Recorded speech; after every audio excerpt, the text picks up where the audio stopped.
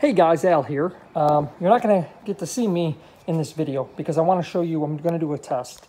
Um, two different soil types. So this soil is actually from a part of my garden that I had used tillage to prevent weed um, weeds in the past. And the cover crop did not fill in very well here at all. So this was straight plug of uh, out of that garden where there was no cover crop. And as you can see, it's very crumbly. Um, the color of the soil is not great. Uh, this is actually an area where the cover crop came in really, really well.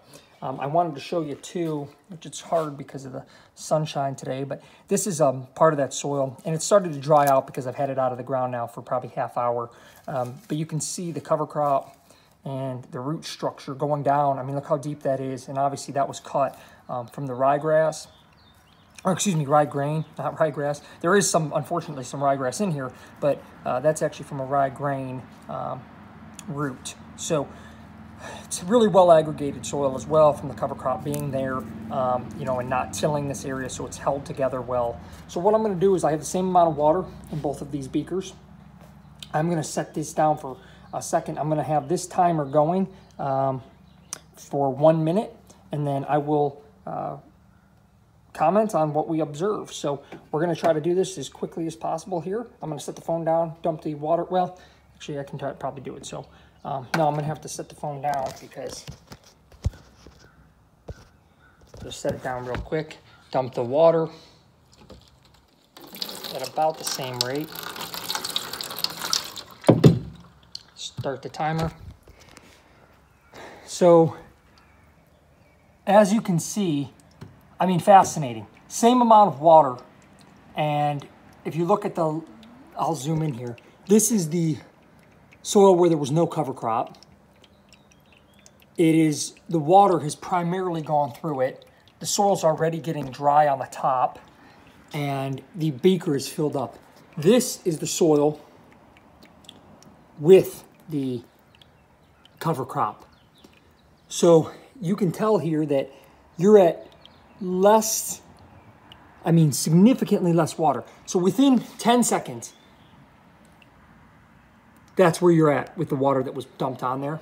Almost all of it went through. Uh, you had about 200 um, milliliter uh, garnered in that soil, uh, which obviously you're going to lose some then to evaporation. In this same water, I dumped about 500 in there, uh, probably a little bit of spillage on both of them, so we can calculate that in our in our error, um, but in the error of the the sample test. But uh, essentially, here what you have is you only have about 50 milliliter that has come through. So this is why, this is what shows you, and we're at um, well, it, it's still going. I'll have to unlock it with this. So that was at one minute right there. So it just ended a minute. Um, but I mean, it doesn't even take that long. It took 10 seconds, not even, to see all of this get filled up. So I'm really, I, I wasn't sure what this was going to do, but wow, am I impressed. Again, that is the power of cover crops. That's why guys like Ray Archuleta say things like, we don't have a runoff problem. We have a water infiltration problem. By having the soil broken up, or by having the soil broken up through tillage, the water just goes right through it. So if you were to get a hard rain in summertime, all your water and nutrients, they're downstream. Here, the plants absorb the nutrients. The plant absorbs the water and holds all your nutrients through soil aggregates in the soil.